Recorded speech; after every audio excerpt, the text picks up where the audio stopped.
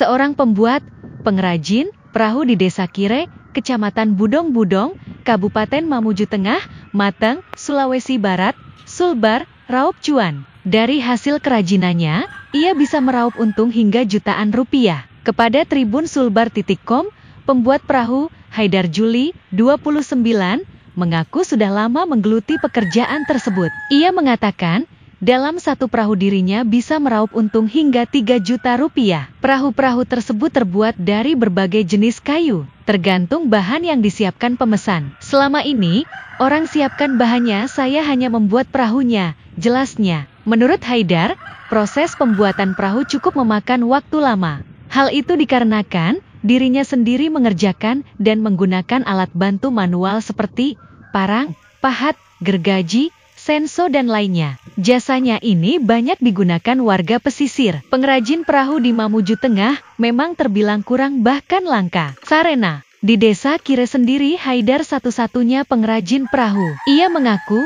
Pelanggannya pun bukan hanya warga desa Kire saja, tetapi ada dari beberapa desa pesisir seperti Babana, Lumu bahkan Tapalang Kabupaten Mamuju.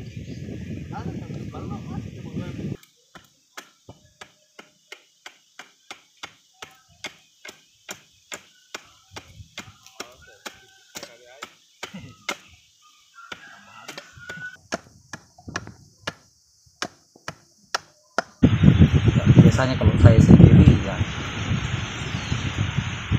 kadang-kadang satu satu bulan kadang nggak sampai kena sendiri Untuk bahannya sendiri Pak kayunya dari mana? eh, selama saya kerja di sini eh, kayunya ditanggung sama yang punya sendiri Hmm. saya tinggal kerja Kalau ini sendiri kayu apa ini Pak? ini kayunya kayu jenis kayu jabung Jabung.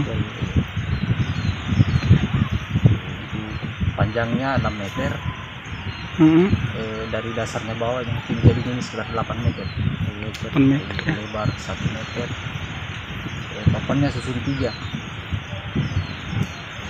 Ini perahu jenis apa namanya Pak? eh, jenis kelotok Kelotok. di pinggiran saja Mancing Biasa- biasa, mancingnya. ya mancing di pinggiran Biasanya selain dipakai mancing, perahu ini digunakan apa Pak biasanya sama nelayan?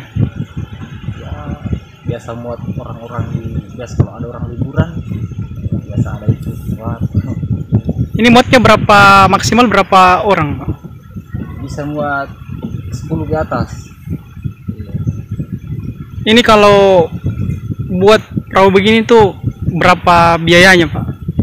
biaya untuk biaya keseluruhan itu kurang lebih 15 juta Itu sudah jadi ya? iya sudah jadi Di luar mesin. di luar mesin Kalau Bapak sendiri ini sudah uh, mulai membuat perahu itu mulai kapan Pak?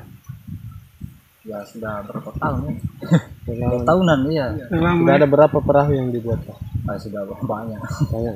Lebih Pesanan- 10. Pesanannya, sudah lebih iya. pesanan orang. iya pesanan orang ada yang pakai sayap ada yang begini ada yang kecil pokoknya macam-macam lah di Kesulitannya Pak membuat perahu begini di apa itu Pak? Bagian mana? kesulitannya eh, untuk pasang papan dasarnya yang di bawah sampai kedua nah dia itu kita bakar dulu sampai Agak lunak di. iya supaya agak lunak. sama bikin tulang-tulang ini nah itu yang sulit betul